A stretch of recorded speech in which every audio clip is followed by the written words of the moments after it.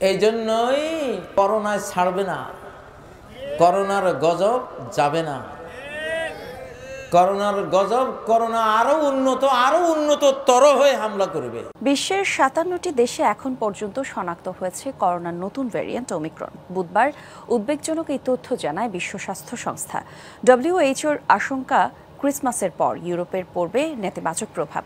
বৈশ্বিক কোভিড ডেটাবেইজে গেল দু মাসে নয় লাখের কাছাকাছি নমুনা পরীক্ষার ফলাফল তোলা হয়েছে, যার মাঝে সাতশো তেরো জনের শরীরে নিশ্চিত মিলেছে অমিক্রন গবেষকরা বলছেন, দুই শতাধিক মানুষই ইউরোপীয়। করোনার অন্যান্য ভ্যারিয়েন্টের তুলনায় অমিক্রনের উপসর্গ কম, তবে ডেল্টার তুলনায় কয়েক গুণ বেশি সংক্রামক। যার কারণে দক্ষিণ আফ্রিকায় জ্যামিতিক হারে বাড়ছে করোনা। দেশটিতে বিরাশি শতাংশ পর্যন্ত হাসপাতালে ভর্তির পরিমাণ বেড়েছে। বুধবার দক্ষিণ কোরিয়ার প্রথমবারের মতো শনাক্ত হয় সাত হাজারের ওপরে সংক্রমণ। চব্বিশ নভেম্বর প্রথমবার নতুন ভ্যারিয়েন্টের কথা জানায় বিশ্ব স্বাস্থ্য সংস্থা। সারা বিশ্বের বুকে এক গ্রাম ওজন দিলে এক গ্রাম হবে করোনা। সারা বিশ্বকে দাবড়ে বেরিয়েছে যে এই করোনা। গরুর টোনা না, এখন সেই টোনা লাগছে কোথায়? আরে কপাল। মানে তোরাও যখন গরু হয়ে গেছিস, তাহলে গরুর টোনাই তোদের জন্য উপযুক্ত। আমাদের তথাকথিত আমরা তাদেরকে শিক্ষিতা বলি। একটা মাছ করতে জানে না। একটা মাছ কাটতে জানে না। কতটুকু লবণ দিতে হবে তরকারিতে? হলুদ কতটুকু, মরিচ কতটুকু জানে না। বিয়ের পরে ওনাকে হোটেল থেকে এনে খাওয়াইতে হয়। উনি যে রান্নাটা জানেন, এর চেয়ে স্বামীটা বেচারা তাছে ভালোটাই জানে। বুঝেন না? আহারে কপাল। উনি জব করবেন, সন্তান নিতে পারবেন না। সন্তান নিলে জবের সমস্যা।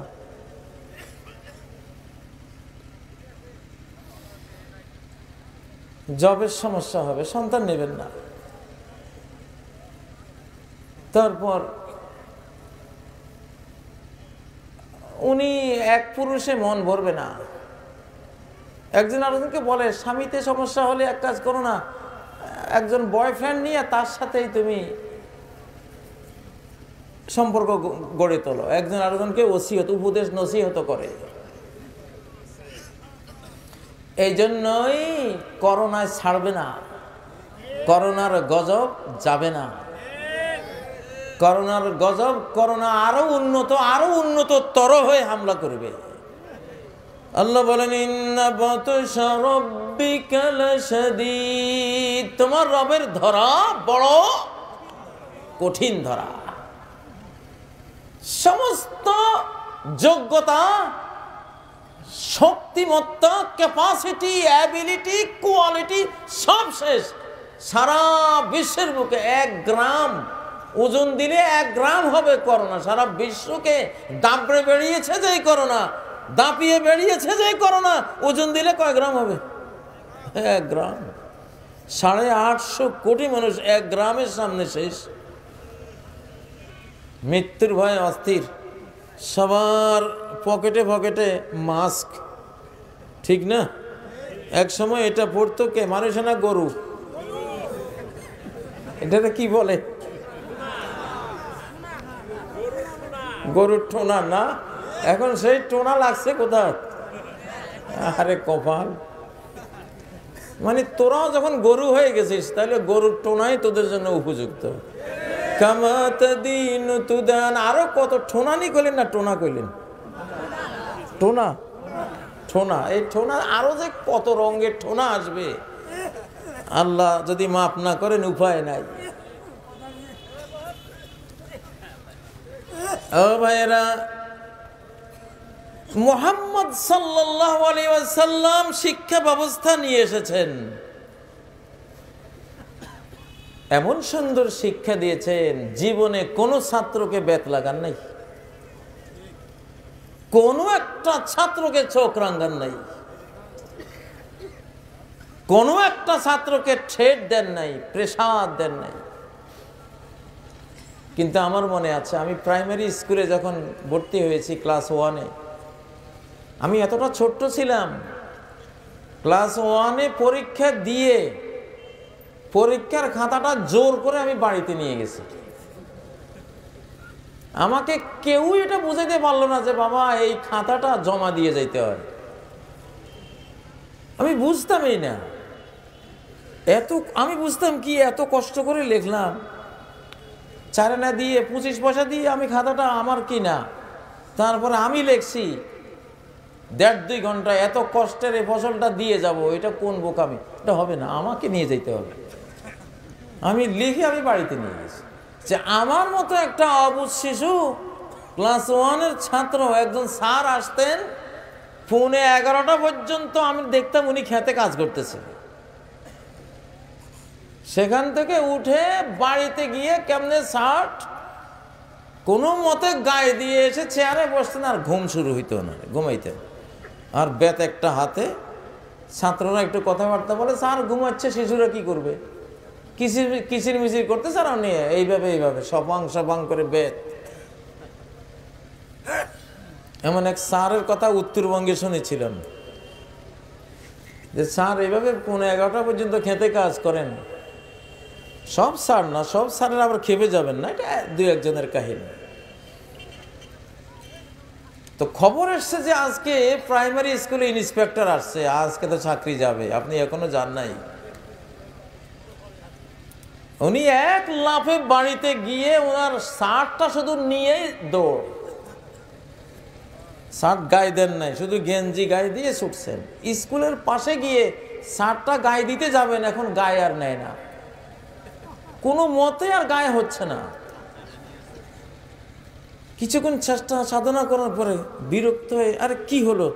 সামনে এনে দেখে স্ত্রীর পেটিকুট নিয়ে আসছে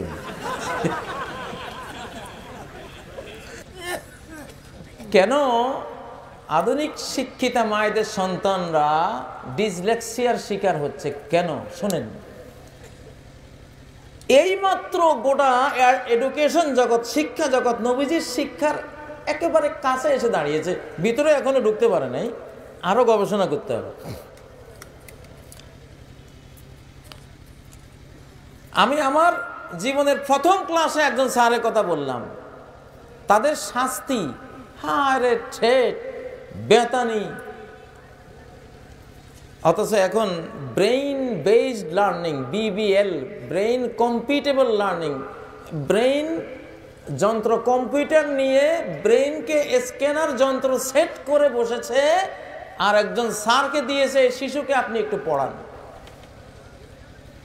যেই মাত্র স্যার একটু চোখ রাঙ্গিয়েছে শিশু পড়ে না, একটু হুমকি দিয়েছে বা একটু থাপ্পড় তুলেছে না পড়লে তোমাকে বের করে দেব, এইভাবে কথা বলেছে, হাতে মেরেছে বা ঠোঁটে মেরেছে, যেই মাত্র এই ঠেট প্রেশারটা দিয়েছে স্ক্যানার যন্ত্রে দেখাচ্ছে, সাথে সাথে তার ব্রেইনের সেলগুলো এই সার থেকে জ্ঞান নেয় স্টপ করে দিয়েছে।